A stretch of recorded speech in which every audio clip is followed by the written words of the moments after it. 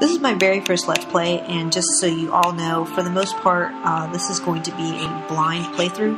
I kind of played through the beginning part a little bit, the first dungeon, um, but I don't have it memorized or anything, so I might be getting lost and what have you. I kind of prefer the Let's Plays that don't talk every single, you know, second, uh, trying to be witty. So if I don't have anything to say, I'm just not going to say it. This is for the most part for you guys to see what this game is like because I think it's awesome. Um, I'm using a joypad, as you can see. Oh shit, I didn't mean to do this. Well, whatever. This is joypad configuration. Whee! My bad. But yeah, so this game is, um, it got an honorable mention during, um, the, some festival, some independent game festival or something. It was created by two college guys, uh, Sean Hogan and Jonathan Kittaka, and they did this. They started this last year. You know, they they did this in less than a year.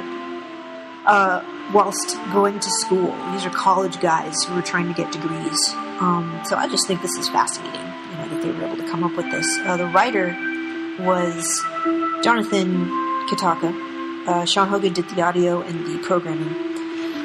Um, I do have a game, but I'm going to just do the go through the beginning a third time for your benefit. Yes. Yeah, you know.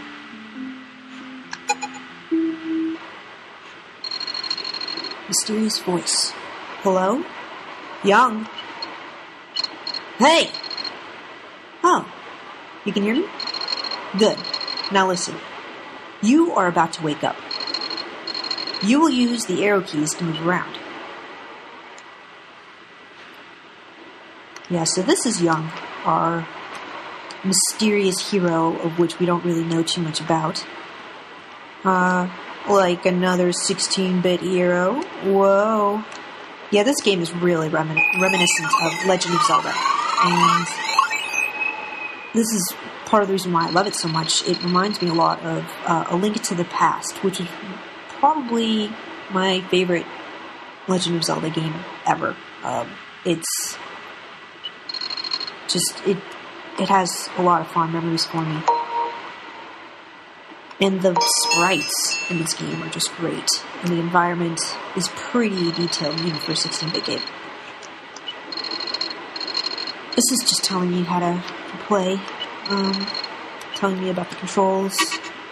This is the menu screen um, for your benefit. It's the card screen, save, configure.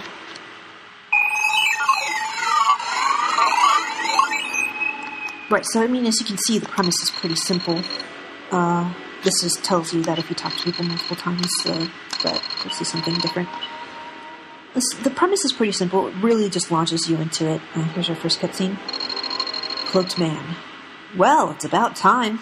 Or, I mean, greetings, young. I am Sage, the village elder. You have been summoned here because the darkness has spread across the land. The darkness seeks the legendary Briar to use the Briar's power for evil. You must reach it first. You must protect the Briar. I like the nondescript names like the the darkness or the land. It's uh, pretty com- it's pretty uh, descriptive. It's like anyway. Enter the active portal on your left to begin your quest. It doesn't bode well that you're still dallying about here. Enter the portal to begin your quest. The Briar, and by extension, the world, are in dire need. Just go in the damn door. Yeah, Sage. Sage is not a very patient guy. Statue. The village elder in name only, for he is neither.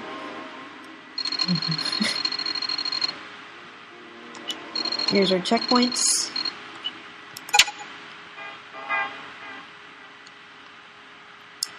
I'm just going to show you these screens. I know for a fact that you can't go through these yet.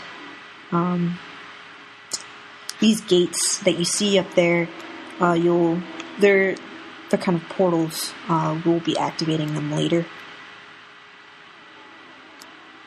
And here we go. This is the launch. So I don't have too much time here. Uh, I'm gonna try and go through this as quickly as possible. I don't know why I always go left first. I've already played through this part like three times and I keep going left first. I know I have to go right.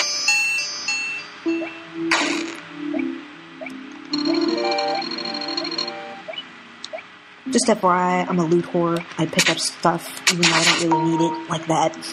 That's that's your health. Those little red squares is represent your health to pick up. Um, I don't know if you guys notice at the top, it's kind of doing the classic, you know, uh, location indicator. It kind of shows you like a little mini map up there. It's very simple, you know, like this is the room you're in. Um, it's kind of really helpful for orientation. This key may be used in a single time to open up a locked berry. I'm going to use it for this one over here.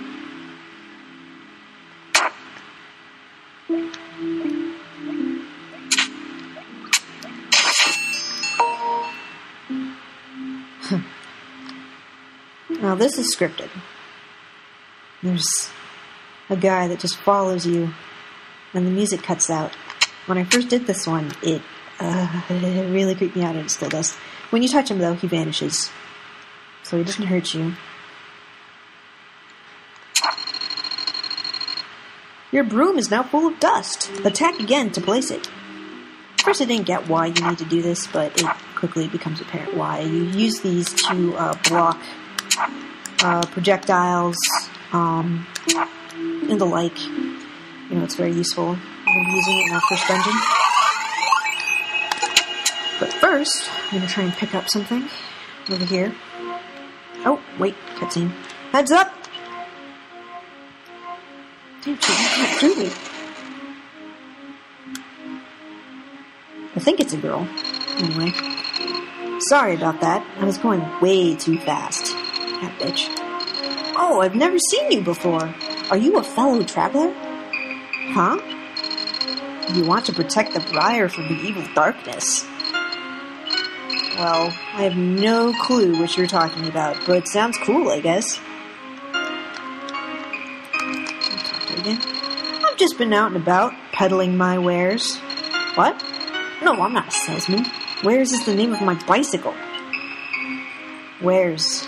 I would have thought it would have been called a piece of shit, considering how much you probably crashed that thing. Well, maybe we'll run into each other again sometime. I'll let you know if I hear anything about that briar.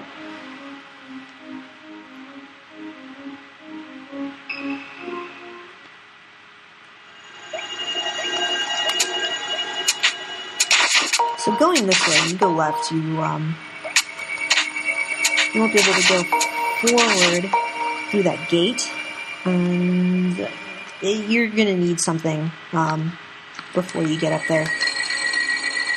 I'll bet you're reading a rock because you don't have any friends. Well, I have more friends than you do, fucker. It's the best comeback I can come up with. No, you! It's almost one in the morning. That's about as clever as I can get. So throughout the game, you pick up these things called cards, and you know later they'll tell you that it's necessary. Um, reading it, it says, "I don't mind being watched by the trees." No, but you guys will see what the hell he's talking about. So now that I got what I was looking for, I'm gonna head back up.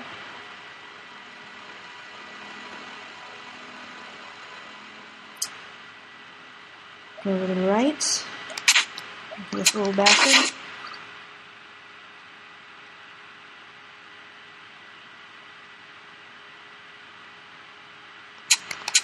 Now y'all want to watch out for these bats. These bats are really annoying. They're pretty easy to kill in one hit, but they circle around you, and it's really kind of scary when you have three of them all doing that at the same time.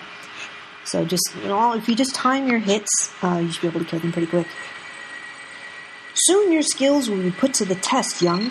In order to make it through this temple alive, you will need both strength and intellect. And I assume that by this point you have found a weapon? Uh, what? I, I mean, yes, of course. A broom. Or just as was foretold in the legend?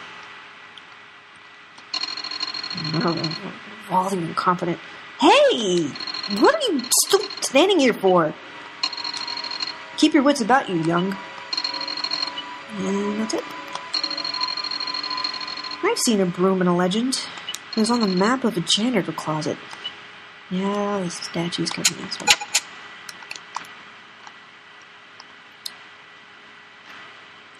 So, I mean, as you guys can see, this is just typical dungeon crawling, you know, action hack slash fair. Edward. This is the guy that we saw in the card. Once a man came and installed a mirror in our bathroom. I was afraid that there was a hidden camera inside of it. I scoured every inch of the wooden frame, spraying Murphy's oil soap into the cracks, thinking I might short circuit the wires. Of course, I never found anything. This temple is dedicated to the Seeing One. I don't know why I came here, I'm too afraid to go inside. I didn't see anything else after that, I can tell you that for certain. Um, yeah, going this way, you know, it's, it's just a dead end. So there's no way you can go. However, this right here is, is a, I guess it's like a, it activates the portal. If you hit confirm, it takes you back to the beginning. And then you just hit confirm again and you can jump through the portal and land right back where you were. It's kind of useful. So, uh, I think I'm going to stop this here. I believe my time limit for these videos are about 15 minutes. Thank you guys for watching. Um, if you guys want to uh, see the first dungeon, be sure to check my next video. Anodyne, uh, who was the name of the game. Yep, I had to double check. Anodyne. Uh, currently, it's on sale on Steam if you guys want to grab it now. But um, you know, it's it's really great. If you love 16-bit games, I mean, just you have got to get this. And if you do get it, my big recommendation is to play this as uh, with the joypad. It's just it would not feel right with the keyboard at all. I mean, you could. It, the, the controls are very simple, um, but it's just just do it with the joypad. Anyway, my name is Illise Montoya, and until next time, thanks for watching.